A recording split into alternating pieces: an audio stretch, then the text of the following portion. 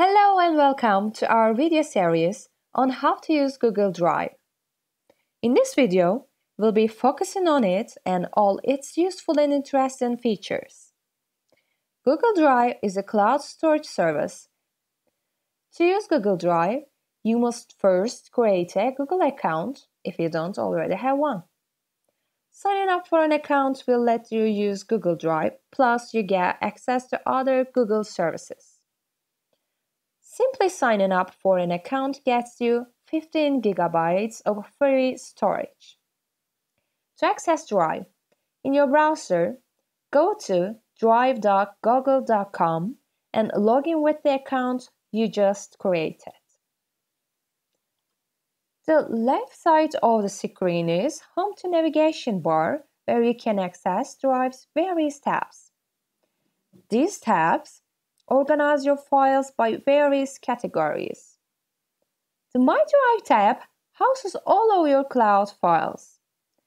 This is also where the Drive folder on your computer gets synced. If you have synced any other folders from your hard disk to the cloud, you can find them in the Computers tab. Meanwhile, Shared with Me keeps all the files that other people have shared with you. You can find recently accessed files in the Recent tab.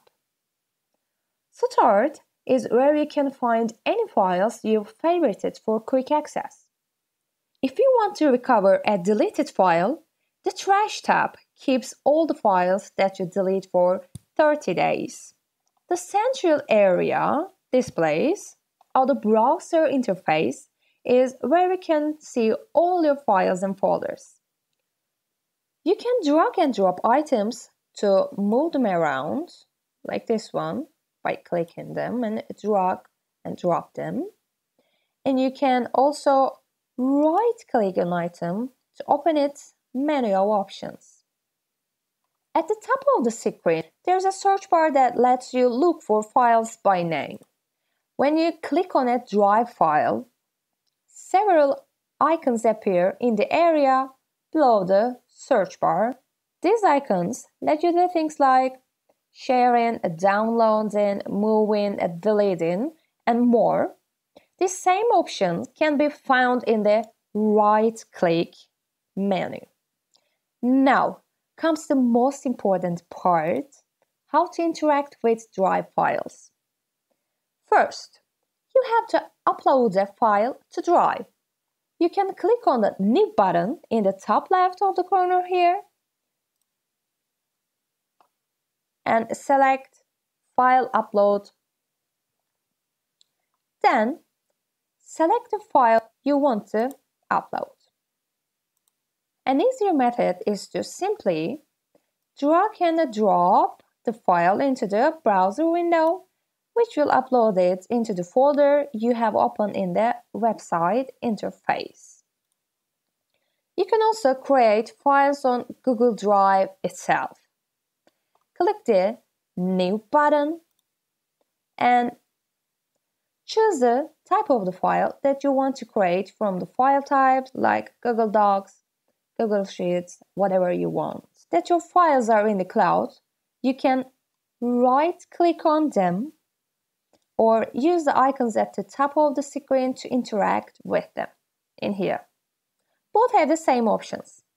Now, take a look to the sharing options. There are two sharing options. First option is the simpler of the two and it's called copy link. We're gonna right click to the folder or the document we want to share. Here, we're going to click on copy link and it's just simply copy it. And the second sharing option is called share.